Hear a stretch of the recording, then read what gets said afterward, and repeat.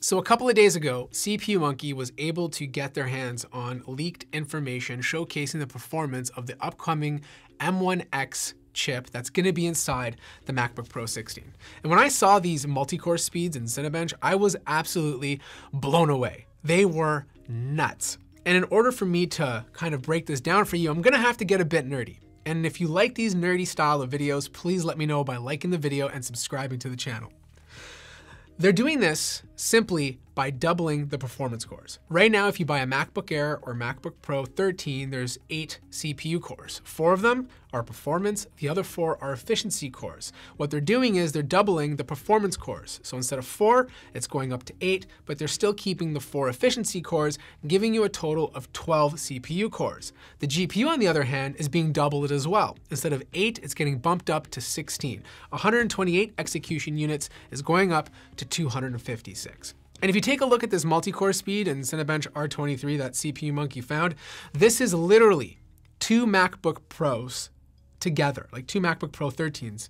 And to me, that's nuts because this beats out an iMac, a 2019 iMac with an i9 10th gen Intel CPU. It doesn't blow it away, but it beats it out, which is very impressive for a laptop. Now, single core clock speeds are gonna stay exactly the same because the processor speed is sticking at 3.2 gigahertz, at least based on these leaks. Things might change in the future. They might ramp it up because there's obviously going to be more power draw with a bigger chassis to provide better cooling. So how do these nerdy synthetic benchmarks equate to real world performance? Let's take compiling Mozilla Firefox, for example.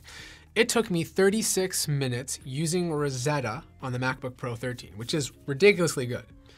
I think with the M1X chip, and again, these are my estimates, these are not real world leaks or anything like that, it's probably gonna take half the time, 18 minutes to compile it, which is absolutely insane. This is better than any Intel laptop CPU you can buy today. The only ones that are probably gonna be putting these M1 chips up for the run is probably the 5000 series from AMD. What about Blender? It would take me 16 minutes to compile the classroom scene using nothing but the CPU. That's probably gonna get dropped down to eight minutes with this new M1X chip.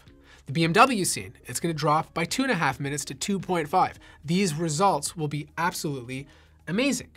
And look, these computers are still not going to be gaming machines. Like, don't expect to be playing AAA titles on these new M1X MacBook Pros. In fact, the GPU cores, even though they're being doubled to 16, are, are still not going to be much faster than the 5600M that you'd find in the 2019 MacBook Pro. It'll be a nice performance boost, something you'd expect year over year, but it's not going to, to crush any RTX 30 series cards. In fact, it's not even going to come close. But the thing about Apple and these new ARM chips is not so much the GPU power, it's being able to run Apple silicon based applications. And when you have that with the type of architecture that Apple is using in these new laptops, it ends up being faster than most Intel and some AMD equivalents. And to me, that is insanely impressive.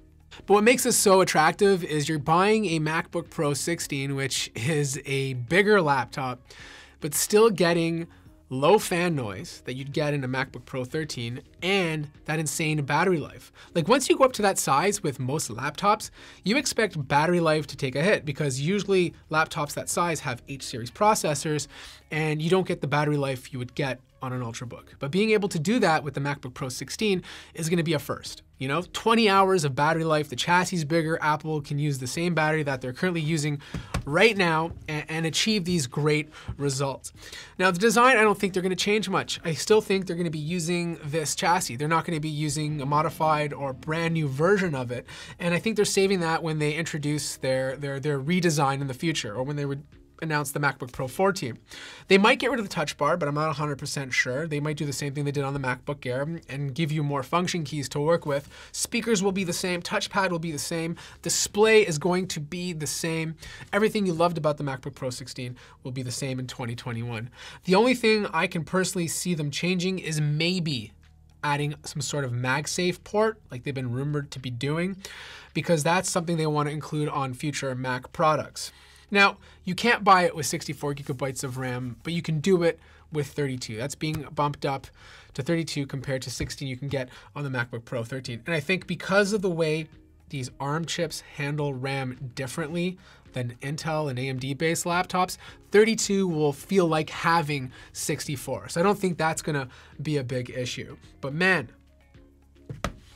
crazy, like crazy what Apple is able to do with these ARM chips. Like if you're into productivity, like not gaming, if you're truly into productivity and, and you're some sort of video creator or programmer or or some sort of artist who relies on hardcore CPU performance that's been optimized for Apple silicon, you're gonna absolutely love these things. Now I will say this, before I wrap this up, if you have a MacBook Pro 13 already or a MacBook Air, do not get jealous. Please don't okay? These things are still absolute mo monsters. And me as a YouTuber, I could totally run my business on a Pro 13 and not need to upgrade to the 16. I think the 16 is really truly for those of you out there who want that bigger display and and and, have the money to to waste as little time as possible because you're in some sort of crazy productivity industry uh, and you want uh, to have the fastest results and, and less downtime as possible. So don't be jealous. Your MacBook Pro 13 that you just bought is still amazing.